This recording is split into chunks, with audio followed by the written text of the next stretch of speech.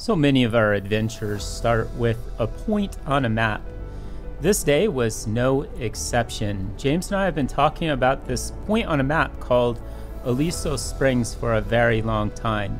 Unfortunately, the spring is blocked off, it's landlocked by a residential area on the west side of Tubac. And so it took us some time to figure out a really good way to go, but this way is from Anita Well. Getting ready to meet James. We got a little bit of a later start. I've been honestly completely stressed out. Life here in the city is pretty rough.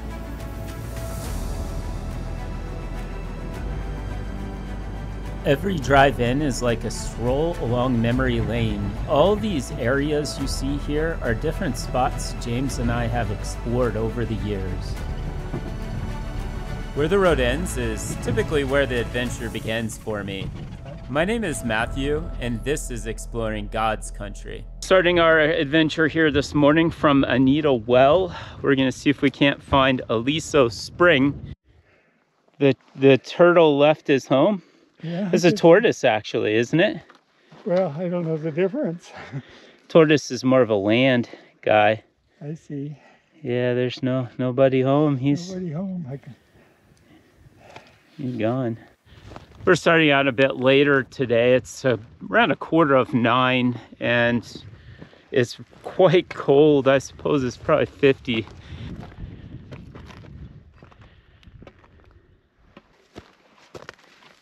John said he went up this side somewhere. He had uh, to, well, he said he didn't need to rope up, but he roped up his left? guests. I don't know if it was the left or the right, the east oh, or the west, this, on or this face, yeah. just on the northern side somewhere. North- Northeast, probably.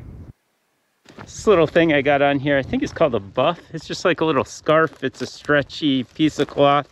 Mainly I use it to keep the sun off me if it comes to that. You can dip it in the water and it has a cooling effect. Uh, it was only a few dollars. It's actually pretty windy up here, so I threw it on and I'm using it as a scarf. We stumbled upon what would be a pretty darn good campsite here. It's out of the wind on this oh, just above the creek here. And uh, nice flat spot, some cover. Uh, it's got some sand here you can push your tent stakes into if you use a tent. Came around the corner and there's a cow right there staring at me. Um, it looks friendly enough. Actually, yeah, that is a cow. I don't think it's a bull. And uh, yeah, we got a little company out here.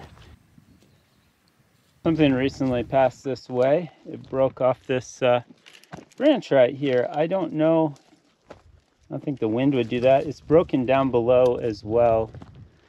There's a bit of a rocky ledge here. We're gonna see if we can't avoid that. I don't know what, what I was wondering.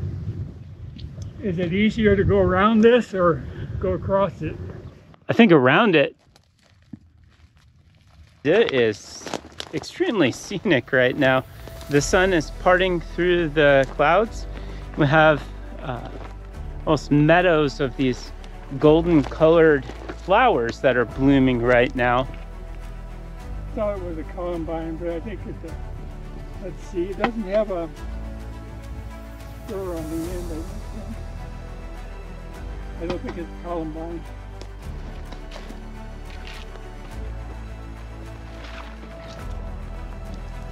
Yeah, I, I might leave that bit there. It's a protective glove. Who knows what they're handling? Oh, I don't know. Latex glove. Maybe they're handling drugs or something. or smallpox victims. Or, yeah. or, Um, Another high point is what you would come to if you were to leave the car and hike to the to the left up on the ridges. uh-huh. That'd be interesting. Um, we were only a half mile from that point, Probably. 21, um, where we found my drone. Now you can see the residential area to the side of me, which uh, you can't pass all the way through to get back into this uh, Forest Service area.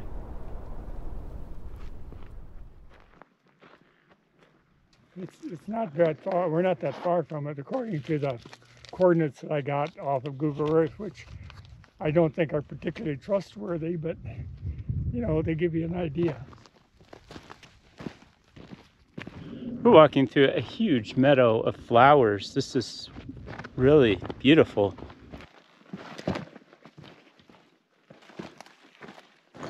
Up in front of us is our first glimpse of water in this ditch. Uh, there should be a spring around here somewhere.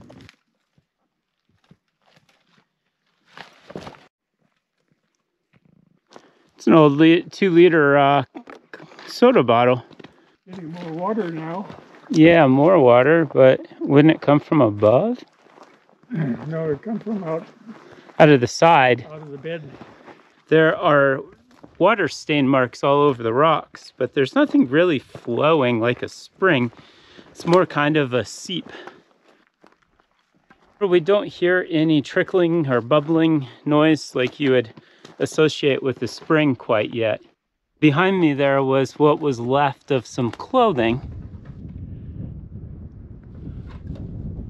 Up, the rain's gonna get us.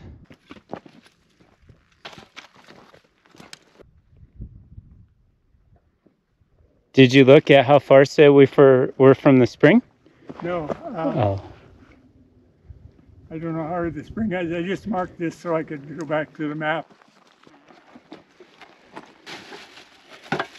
Down here's the west side of the town of Tubac. It's a very premier area with acreages and there was a shooting back here years ago. The cartel was in this big gorge to the west of Tumacacori Peak. There's grottos in there and they're all hanging out.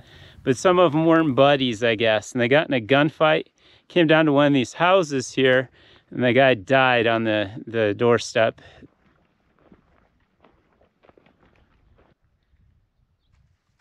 The rain's starting to close in on us right there. We're in a little bit of a dusting right now, but that's going to be a bit heavier if it reaches us.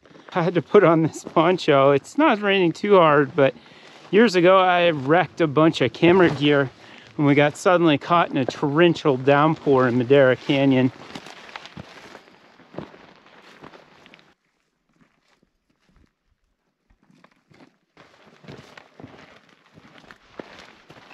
We just have to make our way up and over this next pass here. And Anita Well is on the other side where we parked the truck. Much easier. Oh, it is. Yeah, it's a little, not as much up and over and around. Yeah. We took the high road earlier. You can go in the USGS archives and go back 100 years or more. We're kind of wondering if uh, Aliso Springs is not um, a carry forward from an older map. If you ever wondered where the birthday balloons go to die, well, I think now you know. Uh, Feliz Cumpleaños. Happy birthday. South Ridge to us here uh, seems to be getting some pretty good rain. Uh, it's blowing to the west though and over into the Lowell Canyon area. One of those little uh, Vienna sausage containers.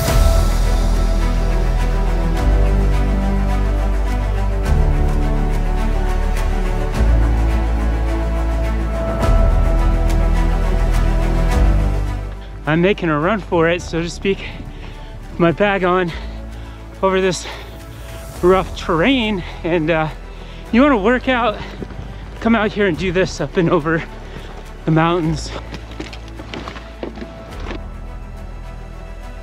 I can't get eyes on James right now, so I'm gonna go up to this little ridge, across the small ridge, double check I can see him.